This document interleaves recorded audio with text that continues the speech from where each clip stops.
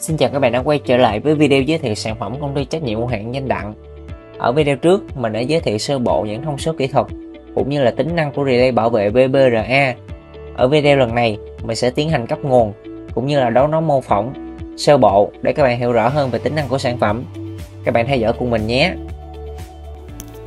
Để kết nối mạng điện 3 pha 4 dây, mình chuẩn bị 4 sợi dây có ký hiệu lần lượt là L1, L2, L3 sợi còn lại là dây trung tính.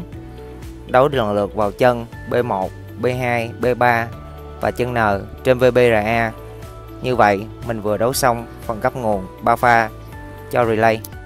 Tiếp đến mình sẽ dùng một đèn led màu xanh hiển thị tín hiệu ngõ ra. Thì ngõ ra relay sẽ điều khiển các đèn nút nhấn công tắc tơ mình sẽ dùng bóng đèn led này để mô phỏng thay thế cho các thiết bị nói trên. Một đầu đèn mình sẽ đấu vào chân 18 là chân thường hỏi của relay. Đầu còn lại mình sẽ đấu vào chân N trung tính. Để cấp nguồn cho tiếp điểm ngõ ra mình sẽ lấy nguồn từ B1 đấu vào chân 15 là chân chung. Như vậy mình đã vừa đấu xong cho relay bảo vệ VDRA tiếp đến mình sẽ tiến hành cấp nguồn và test thử các chức năng của relay. Để kết nối mạng điện 3 pha 4 dây mình chuẩn bị 4 sợi dây.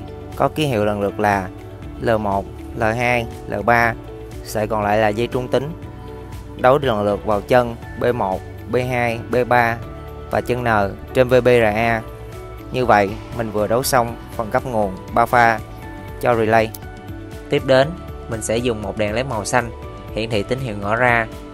Thì ngõ ra relay sẽ điều khiển các đèn nút nhấn công tắc tơ mình sẽ dùng bóng đèn led này để mô phỏng thay thế cho các thiết bị nói trên một đầu đèn mình sẽ đấu vào chân 18 là chân thường hỏi của relay. Đầu còn lại mình sẽ đấu vào chân N trung tính. Để cấp nguồn cho tiếp điểm ngõ ra mình sẽ lấy nguồn từ B1 đấu vào chân 15 là chân chung. Như vậy mình đã vừa đấu xong cho relay bảo vệ VDRA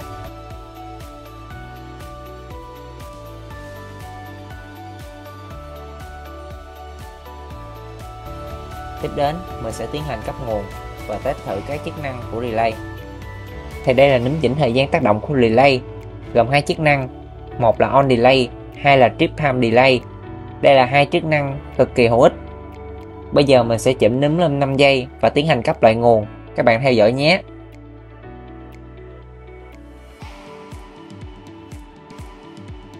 Thì để theo dõi độ chính xác của sản phẩm, mình có để thêm một đồng hồ bấm giờ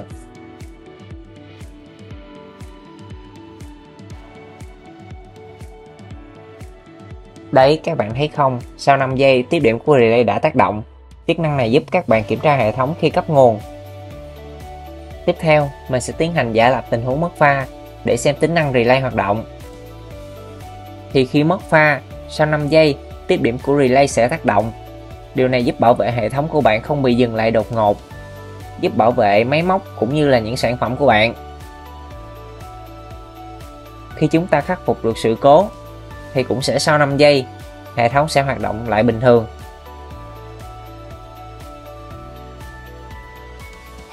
Bây giờ mình sẽ tiến hành đảo pha trên relay Khi đảo pha, đèn báo sự cố pha sẽ sáng đỏ lên để báo hệ thống của bạn bị sự cố về pha để bạn có thể tiến hành kiểm tra hệ thống ngay lập tức.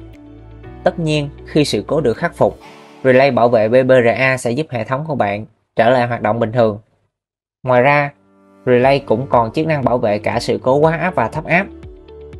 Relay bảo vệ BBRA được ứng dụng rất nhiều trong các ngành sản xuất đóng gói sản phẩm, giúp bảo vệ điện áp các hệ thống điện cho các nhà xưởng sản xuất.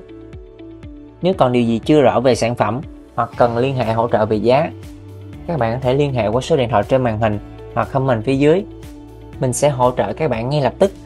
Nếu thấy video hay và bổ ích, đừng quên để lại một like và một subscribe để ủng hộ các video tiếp theo của mình, mình nhé.